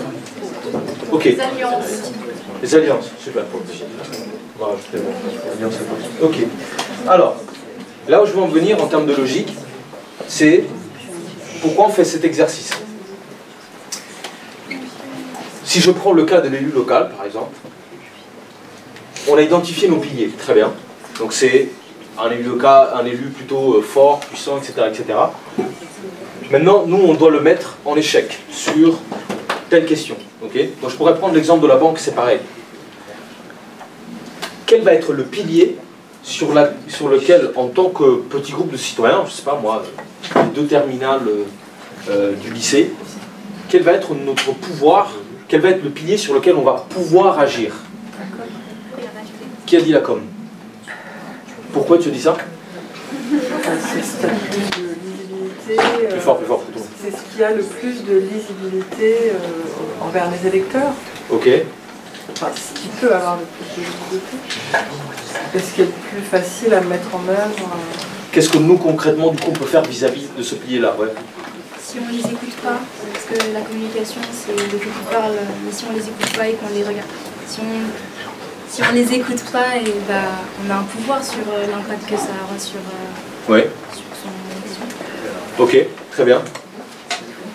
On peut agir sur le des des électeurs, parce que bah, Comment? Vas-y. bah, si on vote pas pour cette personne-là, bah, il ne gagne pas, il n'a pas le pouvoir. De- je, je pousse plus loin votre logique euh, à vous deux. Je peux être passif, entre guillemets, ou, ne- ou je- ne pas recevoir euh, la communication, ou ne pas voter pour cette personne, mais en plus, en tant que citoyen, qu'est-ce que je peux faire? Un boycott. Boycott? Ouais, concrètement, hein, je veux dire, euh, dans un cas totalement, un schéma totalement théorique, qu'est-ce que vous ferez? Une grève Ouais. Vous voulez que telle politique soit appliquée, vous êtes citoyen dans votre commune, vous voyez que votre élu ne vous écoute pas, qu'est-ce que vous faites Pardon Je- J'entends pas parce qu'il y a trop de bruit. Une contre-communication, merci. Bah, tu vas mener ta campagne politique. On est d'accord Ou ta campagne de communication, je dis pas nécessairement que tu vas être euh, élu. Prenons le cas de la banque. Donc la, la banque, on l'a dit, il y a le capital, il y a les clients, il y a la com, euh, l'image, etc., etc. Sur quel levier, en tant que citoyen, nous, on va pouvoir agir vis-à-vis de la banque? Plus des clients. Pardon? On n'est plus client On n'est plus client, voilà, pareil, tu sors, tu sors ton compte. Tu n'achètes pas. Je veux empêcher que cette banque investisse dans euh, des centrales de charbon ou soutienne des projets de gaz de schiste. Qu'est-ce que je vais faire? Des pétitions. Des pétitions sur quel, sur quel pilier je vais agir Je- J'essaie de pousser chacune de vos interventions plus On loin. communique sur, euh, sur ce qu'ils font aux autres clients. Voilà, par exemple. J'avais une main là-bas. Oui, quelque chose qui s'exploite, qui est un peu illégal. très bien, excellent. Je veux voir d'autres mains parce qu'il y a des personnes qui interviennent régulièrement, et c'est super, mais j'aimerais que d'autres participent. Donc on va agir sur quel levier? Sur la communication. Là tout à l'heure, on, parlait de greenwashing. Ok bah, Des banques comme Société Générale sont des banques qui adorent faire du greenwashing et vous dire qu'elles sont responsables, euh, qu'elles sont jeunes, euh, qu'elles soutiennent votre avenir, que, etc., etc., etc. Et en fait, nous, on va prendre, en tant que citoyen, cette communication-là, et on va essayer de la retourner en utilisant ce qu'ils font véritablement. C'est le, cas, le cas que tu prends. Qui d'ailleurs ne sont pas nécessairement toujours des actions légales, on va parler de la différence entre légalité et légitimité, on va dire, bah, en fait, concrètement, vous faites ça. Vous soutenez le gaz de schiste qui est l'énergie qui va détruire notre avenir. Donc en quoi vous soutenez notre avenir, en réalité? Vous voyez la logique ou pas? En fait, avec ce genre de raisonnement, on a réussi à obtenir un, certain nombre de victoires qui sont très significatives en termes de réduction des émissions de gaz à effet de serre. On les, on les connaît peu parce qu'en réalité, on, euh, c'est pas des trucs, euh, c'est pas des centrales qui ont disparu en France grâce à nous, pardon, c'est des centrales qui ne verront pas le jour ailleurs dans le monde, mais par exemple, Société Générale soutenait une grande centrale, le, financement d'une grande centrale, euh, pardon, une mine de charbon en Australie qui s'appelait Alpha Coal. Et en fait, ce projet aurait détruit tout, tout le riff de corail en Australie, dans le nord de l'Australie. Et donc, on allait regarder ça, on a dit, bon, en fait, d'un point de vue argent, on peut rien leur faire. On n'a pas 7 milliards à mettre contre pour euh, acheter des actions quoi. Euh, niveau client, on n'aura jamais la masse de, euh, critique de clients nécessaire pour dire il y a tant de comptes qu'on va retirer de Société Générale. Du coup, qu'est-ce qu'on va, à quoi on va s'attaquer? Eh ben, On va s'attaquer à son image. Et comment on va le faire? Eh ben, On n'était pas très nombreux à l'époque. Là, on est un peu plus nombreux.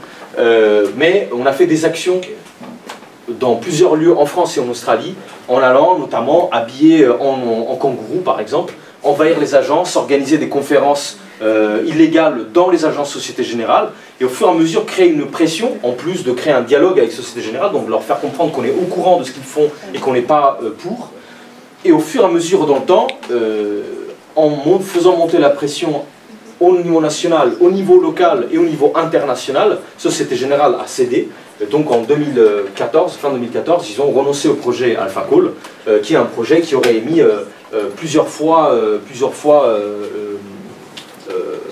enfin, dix fois plus que la France en termes de sur, sur 10 ans, vous voyez, donc c'est un truc, c'était une mine qui à elle seule pouvait, pouvait émettre énormément, énormément de gaz carbone. Et comment on l'a fait? Ben, En étant, en ayant un prisme de lecture stratégique, donc en ayant identifié les failles de l'adversaire via les piliers du pouvoir. Vous me suivez ou pas? Qu'est-ce que vous voyez? Qui sont Qu'est-ce que vous voyez comme personnages dans cette photo? Je ne vous demande pas de me raconter ce qui se passe, juste quels sont les personnages. Oui On voit plein d'hommes autour de deux femmes. Oui Allez-y, allez-y. Plus précisément Oui Oui Vas-y. Plus fort, s'il te plaît. Des personnes assez jeunes, la plupart. Ouais, tous très jeunes. Donc ces deux femmes. Qui sont ces deux femmes? Sont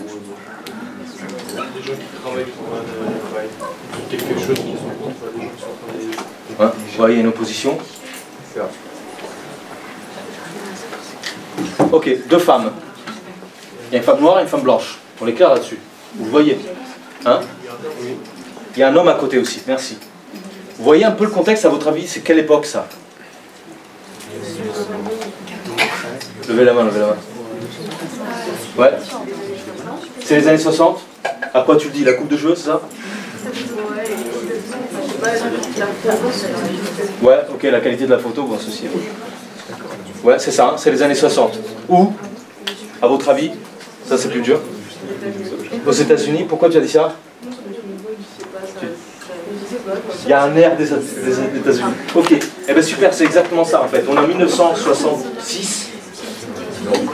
Désolé, je suis aussi fatigué, j'ai besoin qu'on retrouve la concentration ensemble, merci.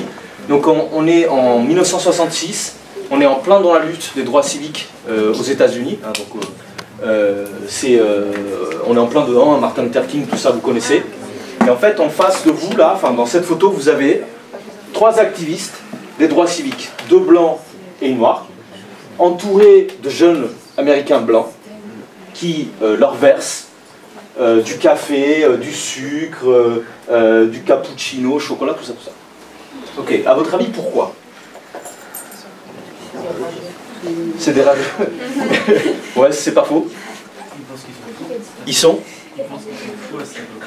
Ils sont fous Enfin, les trois, ils pensent. En fait, ils sont trois à penser différemment de tout le monde. Ils sont à part. Ils sont pris à part. Pour quelle raison précise Concrètement, qu'est-ce qu'ils sont en train de faire Vous les voyez là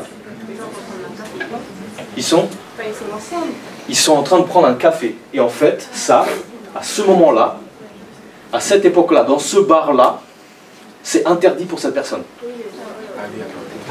Ok Donc ils sont en train de se faire agresser dans un bar euh, parce que la femme qu'ils accompagnent ne peut pas être là. Donc, qui est dans l'illégalité ici? La femme noire est dans l'illégalité. Qui est dans la légitimité? Pourquoi? Ben, On a le droit de prendre un café, non? C'est aussi simple que ça. En fait, elle a le droit, enfin, c'est ce que tu dis, le droit moral, c'est-à-dire, c'est tout à fait légitime d'être un être humain qui va se poser dans un café, pour prendre un café. Et en fait, ça, la réaction qu'elle a derrière elle n'est pas normale, elle n'est pas légitime. Mais pour nous, à l'époque, il y a des personnes pour qui ça, c'était illégitime. D'accord? Donc vous voyez, nous, on va frôler avec ce, ce concept-là. Là, c'est là qu'on introduit la, la notion de stratégie non violente de désobéissance civile qui mériterait toute une conférence tout entière. Mais nous, on va utiliser, suite à notre analyse des piliers du pouvoir, euh, la force de cette contradiction-là qu'on peut retrouver. On va arriver sur le concret après. Donc effectivement, cette personne, elle est dans l'illégalité, mais elle est légitime. C'est à ça que sert euh, la stratégie non violente. Elle sert à montrer cette contradiction. Aujourd'hui, ce serait impossible de faire ça. Et pour vous donner un petit peu plus d'éléments sur cette campagne, en fait, c'est une campagne qui a été menée par les étudiants euh, qui étaient en lutte pour euh, les droits civiques à ce moment-là. Et leur objectif, c'était précisément de faire ça, de prendre ce genre de cliché-là dans plein, plein, plein de cafés dans le sud des États-Unis, là où c'était plus compliqué, pour provoquer euh, l'opinion publique et mobiliser les gens qui trouvent que ça, c'est totalement anormal que de réagir au fait qu'une personne prenne un café. Et en fait, ils ont obtenu, au fur et à mesure dans le temps, qu'un certain nombre de mairies, de communes et de cafés euh, abandonnent leur politique ségrégationniste parce qu'en effet, elle était illégitime, elle n'avait pas de sens. Puis là, on a encore 10 minutes, on peut brainstormer un petit peu ensemble pour s'en prendre à Amazon. Si on voulait euh, forcer Amazon, par exemple, à euh, ne plus, euh, euh, ne plus euh, ouvrir de nouveaux dépôts en France, à, à ne plus détruire des invendus, etc. etc. Qu'est-ce qu'il faudrait faire pour qu'on force, on fasse plier Amazon? J'ai vu une main là-bas. Ouais. Boycott, alors je vais noter les choses. Ouais, tu veux Ouais, si tu veux. Boycott. Listons tout, tout, tout, tout, toutes les idées qui vous viennent à l'esprit. Manifester, super. De façon légale, etc. Ouais. Faire en sorte que euh, les gens qui sont sensibilisés consomment moins ou plus du tout. Comme ça, ils n'achètent plus, ils sont obligés de fermer des services. Tout à fait. Réduire la consommation, le Ça boycott. rejoint un peu le boycott Ouais. Tu, tu avais levé la main? Non? D'autres? Consommer local au lieu de consommer euh, à distance. Voilà. Consommer local. Dans tous les outils de sensibilisation, là, on a évoqué, euh, quelqu'un parlait de manifester, quelqu'un parlait de formation, de conférence. D'autres outils de sensibilisation qui vous viennent à l'esprit La pétition Alors, on va y venir tout à l'heure un petit peu sur la définition de ces outils. Là, c'est déjà pas mal comme panoplie. Il en manque peut-être un, excusez-moi, c'est la fin, je sais, et, vous êtes trop chaud pour aller à la bataille contre Amazon, mais c'est presque fini. Il y en a un peut-être que vous n'avez pas évoqué, c'est le qui concerne euh, d'ailleurs euh, ma collègue. Les. Très concrètement, plus concrètement, concrètement, aller parler avec Amazon. Avec Amazon, mais aussi avec euh, des députés, euh, des décideurs, etc., etc., qui sont concernés. Ouais. Le bénévolat, ouais. Tu as levé la main? Le meurtre? Ouais. Donc, on- c'est peut-être une notion qu'on vous allez entendre d'autres fois, tout ce qui est parler, dialoguer avec et Amazon et euh, le gouvernement euh, et les députés, etc. C'est ce que nous on appelle plus généralement le plaidoyer.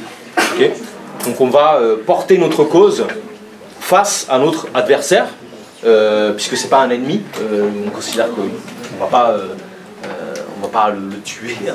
Euh, on va, on va le mettre en échec. C'est un adversaire. Donc euh, en tant qu'adversaire, il faut qu'on instaure un dialogue avant de, de mesurer si oui ou non il faut qu'on passe à l'attaque ou pas. Vous voyez ce que je veux dire ou pas Ok, très bien.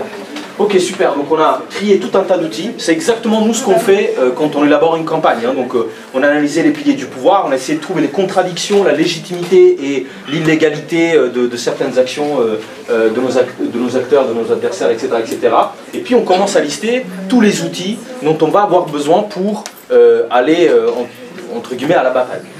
Et euh, il ne suffit pas de les lister et de les faire, parce qu'en fait, on n'y arrive jamais à tous les faire. Il faut trouver les plus pertinents, et donc il faut qu'on arrive à, à clarifier comment, enfin, euh, qu'est-ce qu'il faut pour qu'on développe ces outils, quels sont les avantages et les inconvénients de chacun de ces outils-là. Ok? Donc passons, passons les un, un petit peu en revue, par exemple. Le boycott, avantage. Vas-y, t'as dit là. Perdre de l'argent, ok. Un autre avantage? Euh, moins de consommation, donc. Tout à fait. Inconvénient.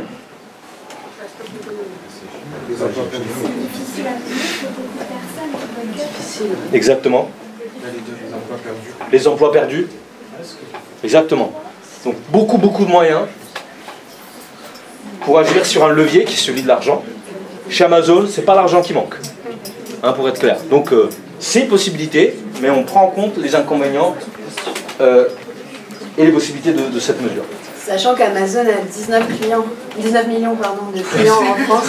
19 clients, c'est Donc 19 millions, c'est énorme. Ça veut dire que pour atteindre ce qu'on appelle ouais, une masse critique, donc un nombre suffisant de clients qui arrêtent de consommer pour qu'ils le sentent, c'est qu'il faut aller chercher au moins 1, voire 2, voire 3 millions de personnes. Quoi. Donc ça fait beaucoup. Sensibiliser, faire des conférences, etc. Avantage.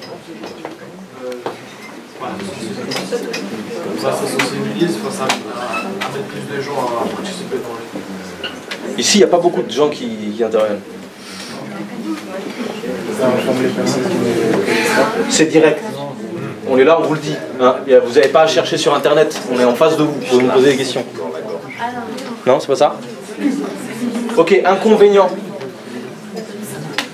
Inconvénient Ouais, pas tout le monde Et puis il y a beaucoup de monde quoi, à sensibiliser. Ok, super. Euh, dévoiler des informations un, un petit peu nichées derrière, euh, derrière, euh, derrière les, les arcanes. Avantage d'autres personnes. C'est simple? C'est simple? C'est simple? C'est simple, hein? Ah, c'est super simple. Avantage Efficace Ouais, tout à fait. Polémique, très bien. La riposte de l'entreprise, en fait, faut essayer de trouver un moyen de trouver un... Je, je t'invite à répéter ce que tu as dit parce que je pense que les autres n'ont pas entendu. On peut écouter ça, c'est un excellent, excellent élément. Vas-y. Bah, en fait, ça, fait- ça donne la riposte de l'entreprise. On trouve un moyen de, pour euh, trouver un, un accord avec euh, les deux parties. Ça provoque une réaction. Et ça, c'est exactement ce qu'on cherche. Ouais. Très bien. si tu veux, on peut le traduire comme ça, il y a bien. Euh, je vous propose que vous soyez chargés de campagne tous les deux. Très bien, on va, cher- on va, trouver un, on va provoquer un dilemme chez l'adversaire. Inconvénient, l'inverse de ce que tu disais tout à l'heure. C'est pas simple. C'est pas simple. Si, c'est simple, hein. Si euh, l'entreprise porte plainte contre la personne, ça peut mal finir. Excellent. Répercussion juridique, très bon point. Alors c'est simple dans l'absolu. Pour les dévoiler, c'est simple, après, faut les trouver. Voilà, c'est ça. C'est vraiment aller dénicher euh, les éléments. C'est ouais. Super. Je vais travailler d'enquête, mais pour rebondir là-dessus, pourquoi c'est efficace Parce que quand on sort un scandale, là on disait qu'il nous fallait toucher 2 millions, 3 millions de personnes, etc. En fait, quand on sort un scandale, ça fait du buzz, les médias s'en emparent. Et en gros, le moment où on a le plus fait parler d'Amazon en France euh, l'année dernière, c'est quand on a sorti le scandale de la destruction des produits neufs. C'était quelque chose que les gens ne savaient pas. Du coup, les médias s'en sont emparés et le reportage de Capital dont, dont on parlait, il a été vu plus de 7 millions de fois par, euh, par les Français. Donc ça, c'est pour ça que c'est efficace. Pourquoi c'est effectivement compliqué? Parce qu'en fait, c'est des infos par essence cachées, donc auxquelles on n'a pas accès. Ça peut prendre plusieurs mois. Il faut trouver justement les salariés qui vont trahir, entre guillemets, les gens qui vont témoigner, etc. Et euh, ça peut être très difficile. C'est un travail de journaliste, quoi, d'enquête. Puis après, ça s'oublie aussi. Il y a des infochocs où les gens vont arrêter de consommer, mais après, on va faire autre chose. Exactement. Et après, c'est quelle est la permanence, effectivement, dans, un, dans une société où il y a énormément d'informations tout le temps et un scandale après l'autre? Quelle est la garantie dans le temps que les gens qui vont arrêter de consommer deux semaines parce qu'ils ont été choqués, au bout d'un moment, ils vont oublier, ça va s'éteigner, il y aura une autre entreprise qui aura repris la, la place du grand méchant Est-ce que ça reste Est-ce que c'est durable? Alors, euh, salariés qui témoignent, on est dans le domaine de l'enquête. Bon, voilà. Euh, manifester, tiens, belle manifestation légale, euh, belle marche, etc., etc. par exemple. Avantage Plus fort Se faire entendre, tout à fait. C'est relayé par les médias. Relayé pour les médias, si tu t'y prends bien. Autre avantage Euh, solidarité entre les, acteurs. ouais, super. Rallier les, euh, les, les- enfin, euh, rassembler les alliés, etc. Oui. On va. Ok, disons que le principe est simple. Je suis d'accord avec toi. Vas-y, vas-y. Tout à fait. La masse critique, la démonstration de force. Ça, c'est un terme qu'on utilise aussi souvent. Si vous arrivez à rassembler assez de monde, vous faites la démonstration que physiquement vous êtes très nombreux. Même si vous n'êtes pas les 6 millions ou les 17 millions de consommateurs, si vous êtes 100 000 dans la rue contre Amazon, je peux vous dire que ça va se faire entendre. Donc il faut atteindre une masse critique. Donc du coup, inconvénient. L'inconvénient, les atteindre cette masse critique, hein. c'est pas facile du tout. C'est un travail euh, extrêmement euh, long. Ouais, tout à l'heure. Consommer local, vous disiez là tout à l'heure. Consommer local, avantage.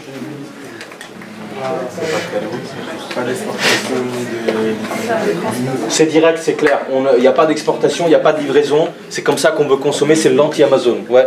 C'est souvent moins cher, des fois dans certains cas c'est moins cher et c'est mieux. Meilleure qualité, ok. Inconvénient Il n'y a pas forcément les produits qu'on veut aussi. Il n'y a pas forcément les produits. Ouais, euh, obtenir un label euh, fabriqué localement s'il y a 50% de fabriqué sur place. Si je reste peut être fabriqué ailleurs. Ouais. Je trouve ça que c'est plutôt un avantage. Ok. Il y avait une main levée là-bas. Bon, c'est très long de faire pression comme ça en fait. Ça c'est un énorme inconvénient, c'est-à-dire qu'il faut beaucoup de temps pour créer un réseau alternatif de consommation. C'est une des choses que nous on prône par ailleurs, mais il faut beaucoup de temps pour arriver à faire plier la cible. Et le dernier que vous avez mentionné, du coup, le plaidoyer.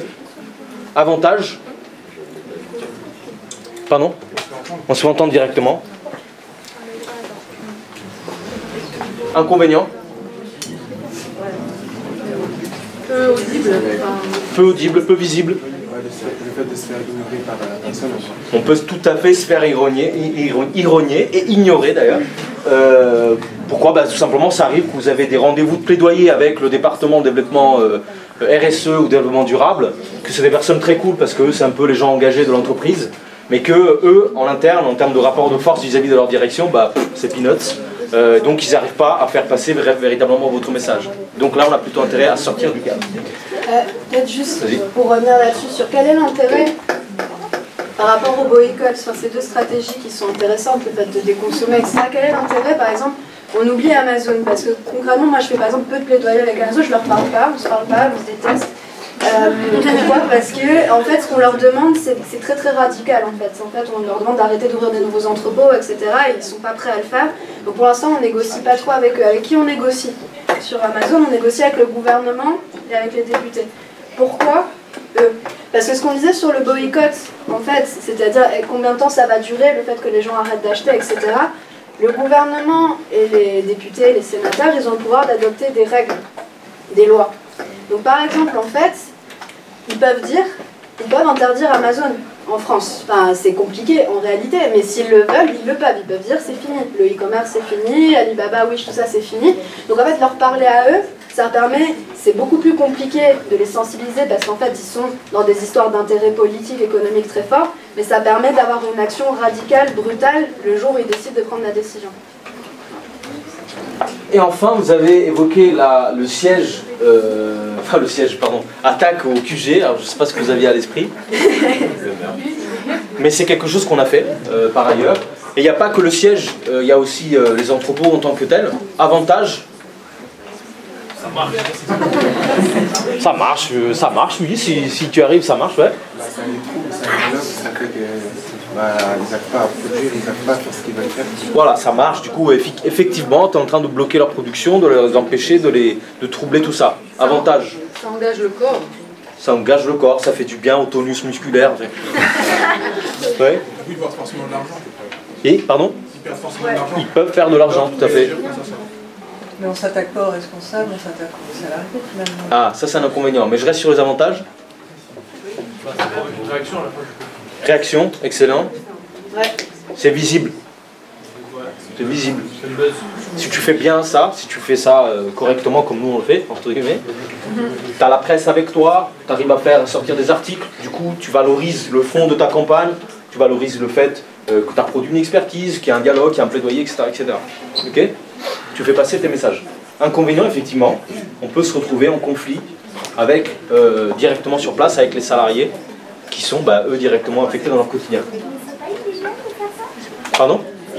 C'est illégal, eh, exactement. Et donc du coup, il y a des conséquences, il y a des conséquences juridiques.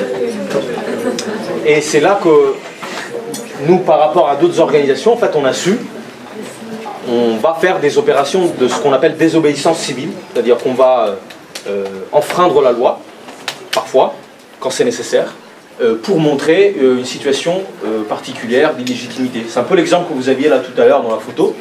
La, dame qui était assise à son bar, elle était en situation d'illégalité. Il y avait des risques juridiques, mais elle l'a fait parce qu'elle voulait illustrer une situation d'illégitimité. Nous, on assume ça. On va euh, au-delà des, frontières de la loi euh, pour euh, montrer une situation. Nous, la différence, c'est que on y va toujours à visage découvert, on assume nos actes, on n'est jamais cagoulé, il n'y a jamais de violence vis-à-vis des individus, des personnes, ni des salariés qui sont sur place. Et euh, on assume nos messages et on assume le fait de désobéir à la loi. On va voir euh, une petite démonstration tout à l'heure. Euh, donc on va jamais pour casser, euh, etc. Ben, on va effectivement pour bloquer les choses. On va peut-être dégrader du matériel si c'est nécessaire, mais on va jamais s'en prendre aux personnes. Ça c'est hyper important chez nous. Ça vous paraît euh, clair comme, euh, comme démarche Ok.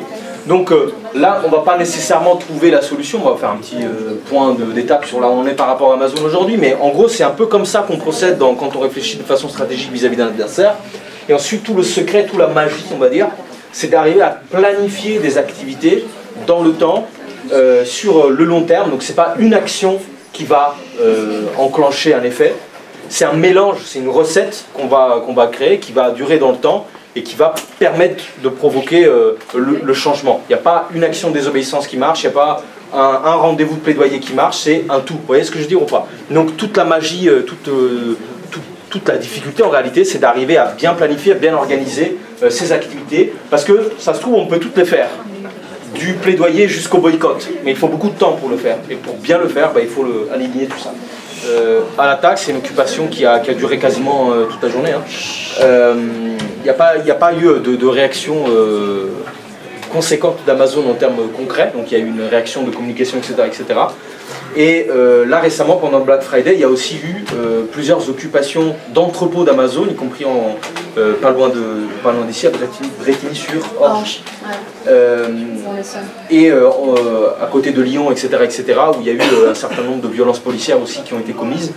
Le, contre, contre nous, effectivement. Et, le, et bon, ça aussi, il n'y a pas Amazon qui nous a appelé, nous a dit ouais, pourquoi vous faites ça, ou le gouvernement qui nous a appelé. C'est pour dire que ce n'est pas suffisant. Et si ce n'est pas suffisant, ça ne veut pas dire qu'on va lâcher l'affaire. Euh, ça, veut dire qu'il faut maintenir un rapport de force. Et donc là, on commence à installer un conflit avec Amazon. On assume aussi le terme de conflit. Euh, et euh, pour que on arrive à mener à bien ce conflit-là, il y a tout un tas d'outils qu'il va falloir continuer de développer, notamment le plaidoyer vis-à-vis du gouvernement, mais aussi le soutien populaire à cette cause-là, d'où la, pétition que vous voyez à la fin, commencer à, à instiller cette idée qu'on peut se passer d'Amazon dans la vie quotidienne, on n'a pas besoin, et donc provoquer euh, quasiment un, un boycott par ricochet. Mais je te laisse un peu plus compléter sur là où on est par rapport à ça, Ouais. et puis on passe aux questions rapidement. Non, mais tout à fait. Mais en fait, c'est pour illustrer. On a tout essayé là avec Amazon cette année. On a eu du coup le reportage de Capital, 7 millions de vues, des réactions qui ont fini par se faire entendre, mais pas tout de suite. C'est-à-dire, euh, quelqu'un disait euh, qu'ils vont donner leurs produits. Ils ont mis quand même un an à bouger sur la question du don des produits parce que justement, on a refait des actions au moment du Black Friday où on a coupé du coup leur, euh, on, a nué à leur chiffre d'affaires le jour du Black Friday. Ils ont menacé de nous poursuivre. Pour l'instant, ils ne le font pas. Mais surtout parce que ces actions-là, elles ont provoqué beaucoup de, de plateaux médias, etc., où on a reparlé de tout ce qui se faisait de mal en termes social, en termes du climat, la destruction de produits. Et un peu pour s'en sortir la tête haute, ils ont annoncé qu'ils allaient donner les produits. Donc ça a mis quand même un an avant qu'ils réagissent. Et il a fallu un reportage de 7 millions de vues, il a fallu plus de 25 blocages dans toute l'année avec les gilets jaunes, que ce soit nous, etc., pour qu'ils annoncent une petite chose, qui est vraiment pas grand-chose par rapport à tout ce qu'ils devraient mettre en place. Donc, en fait, c'est dire que, mais c'est normal. Pourquoi? Parce que Amazon, c'est la plus grosse multinationale du monde.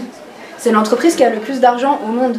Donc c'est pas une entreprise, effectivement, on ne gagne pas en deux mois un combat contre un géant comme ça. Mais ce que je veux dire, c'est qu'on a quand même réussi à les faire bouger. Et maintenant, dans les médias, on parle de Amazon bashing, c'est-à-dire en gros, euh, en anglais, bah, c'est-à-dire on s'acharne sur Amazon, entre guillemets, tellement justement ils commencent à avoir une mauvaise réputation. Et en partie grâce à nous, en fait, et à toutes les actions qui ont attiré les médias, tous les reportages, etc. Donc on commence à avancer dans la construction euh, donc euh, d'un rapport de force qui est plus à notre avantage, même si on n'a encore pas assez fort, clairement. Et là, même le gouvernement est en train de se poser des questions. En gros, les ministres disent oui, c'est vrai qu'il faudrait peut-être les interdire parce qu'en fait, ils ont des impacts tellement mauvais sur le social, les emplois, les impôts, le climat, que ça peut plus durer. Oui, mais en même temps, ils sont quand même très puissants et puis il y a Donald Trump derrière, donc on peut pas trop faire quelque chose, sinon on va se faire emmerder, etc. Donc ils en sont en train d'hésiter, mais ils nous disent continuez à vous mobiliser parce que peut-être qu'on va changer, nan, nan, nan. Sauf qu'on leur fait pas confiance, évidemment. Parce que les belles promesses des politiques, ça arrive souvent. Donc en fait, nous, ce qu'on va continuer à faire, c'est continuer à mélanger en fait ces recettes. On va continuer à sur eux, mais continuer à faire dans le rapport de force en fait, à aller les bloquer, et on va tisser des alliances pour ça. Parce que ce qu'on a expliqué aussi, c'est qu'un blocage, on n'est pas très nombreux, on risque aussi les interventions de la police, on risque d'aller euh, devant les juges. C'est des choses qui coûtent cher aux activistes. Mais pour diminuer la pression, il faut être le plus nombreux possible parce qu'ils ne vont pas poursuivre 2000 personnes en fait. en fait, plus on est nombreux, moins il répression. C'est une logique assez forte. Et en plus, ce qui va nous permettre aussi de gagner, c'est de nous allier avec des acteurs, euh, des gens qui sont importants pour les politiciens. Notamment, par exemple, les petits commerçants qui sont en train de mourir à cause d'entreprises comme Amazon, mais ils savent qu'ils représentent une grosse partie de l'électorat. Et donc, par exemple, en les ayant avec nous, en fait, ça met une pression supplémentaire au gouvernement. Les syndicats aussi se mobilisent. Et quand on les a avec nous, on peut faire encore plus de blocages. Par exemple, les syndicats comme la CGT Énergie, ils peuvent arriver, ils peuvent couper l'électricité. Carrément, ils arrivent, il n'y a plus d'électricité dans l'entrepôt, dans tous les entrepôts de France. Et ça, ça peut durer plusieurs jours. Donc en fait, il y a plein d'alliances qu'il faut qu'on construise pour gagner dans ce rapport de force qui est quand même très difficile à, mettre en place. Je sais pas si... jamais vu de, bah, pour répondre très rapidement là-dessus, en fait, la pétition, c'est comme n'importe quel euh, autre outil ou tactique, là, comme vous avez listé ici. Ça dépend de ce que tu en fais. Euh, si tu fais une pétition en sachant que tu vas avoir 3000 signataires contre Société Générale, c'est pas grand-chose. Si tu utilises une pétition au niveau local pour faire pression, je sais pas moi, sur euh, le bailleur social de tel bâtiment et que tu as 3000 personnes, là, tu as, un vrai impact. Si derrière, tu vas leur montrer les gens qui ont signé, etc. En fait, chaque tactique, chaque action, elle a une utilité euh, réelle si tu calibres bien ce que tu vas en faire. Donc, euh, euh, ouais, c'est clair que l'époque où la pétition de 50 000 personnes ou 100 000 personnes, tout d'un coup, bam, elle est un peu qui change tout, elle est un peu révolue, parce qu'il y a beaucoup, beaucoup de sites de pétition maintenant, etc. C'est devenu aussi un outil pour certaines associations comme la nôtre de rassembler du soutien. Donc concrètement, si on est 50 000 à signer pour Amazon, peut-être Amazon ne va pas changer tout de suite, mais par contre, c'est 50 000 personnes qui vont s'intéresser à la bataille contre Amazon et que tu vas pouvoir solliciter derrière en envoyant des mails, en proposant des actions, le boycott, etc. etc. Donc tout dépend un peu de comment tu utilises ta tactique.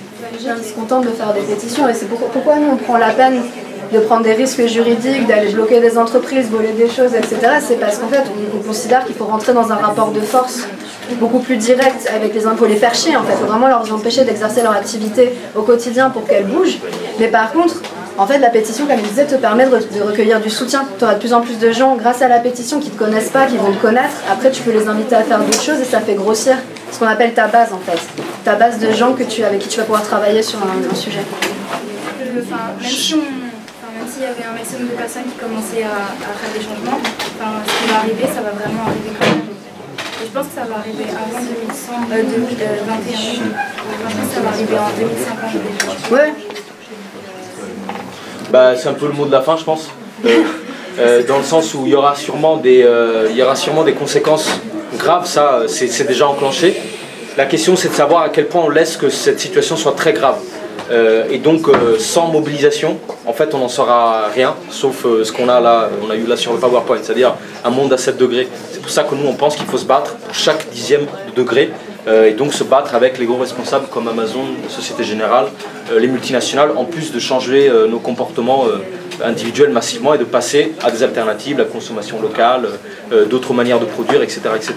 Mais sans mobilisation, en fait, bah, c'est clair qu'on est condamné. Et surtout vous qui êtes jeunes en plus, nous aussi, mais vous allez connaître en fait des choses Connaître. et graves et on va tous connaître ça. Et en fait c'est une question de survie. Donc maintenant on se pose la question parce que ça arrive pas encore, mais quand ça va arriver de plus en plus, en fait de plus en plus de monde vont forcément rentrer dans la lutte parce qu'on n'a pas vraiment le choix au final. Mais ça veut pas dire qu'on va réussir à éviter euh, effectivement tout ce qui va se passer, ça c'est sûr. Vous êtes chaud? Trop bien.